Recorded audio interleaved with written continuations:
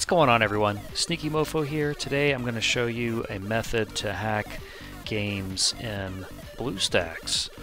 Uh, first off, thanks to Dark Byte from the Cheat Engine forum, also the maker of Cheat Engine, for throwing this little tidbit my way. Um, typically I thought you would need DBVM to successfully do things in BlueStacks, but it turns out you don't.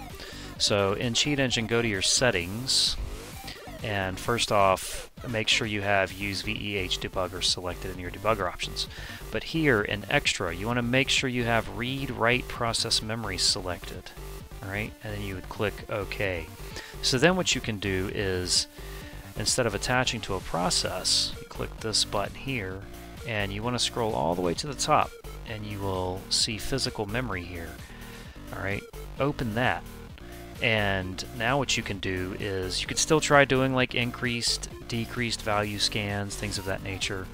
Um, or you could do, uh, I've had some good luck doing exact value searches. So for like the coins in this game, Moss Speed Run, I'm going to go ahead and collect, uh, let's see, three coins. And I will start with a 4 byte scan for the value 3.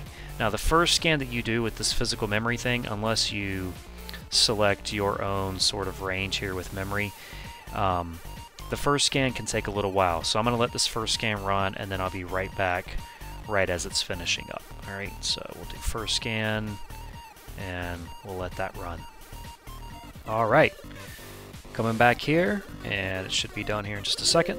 There we go. Now the good thing is that after you do that first initial scan, the subsequent scans shouldn't take anywhere near as long to do. So I'm going to go ahead and pick up a couple more coins here. And now I'm going to do a search for my new coin value of 5 here.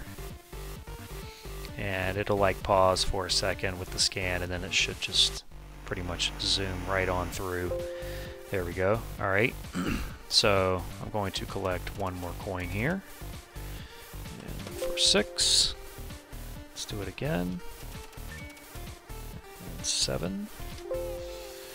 Let's get two more and do nine. Alright, now sometimes you'll get a lot of the same kind of results.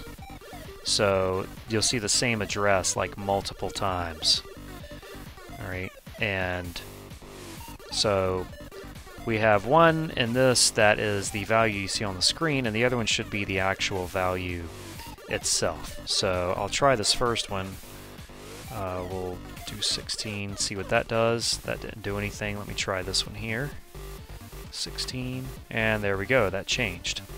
So, now I am going above that number of coins. So I'm just going to try 999. There we go. Alright, and let's just go ahead and finish out the level here. And so I could do the same with the time there. It's a float, and I could search for that exact time, but to do that first scan would take a while to do. So anyway, there you go. You see me finding that value in this Android game. Um, and of course, your luck with online-based games will be hit or miss. Typically, direct values related to gems, gold, anything that costs money, anything like that, you're not going to be able to do it through a simple search like this. So just be cognizant of that. But anyway, uh, give it a shot, see how you fare. Also, I have another video I did that shows you how to hack online and Facebook games, so you might want to check that one out as well. Thanks for watching. Give me a thumbs up if you enjoyed it. Don't forget to subscribe, and I'll see you all in the next video. Take care.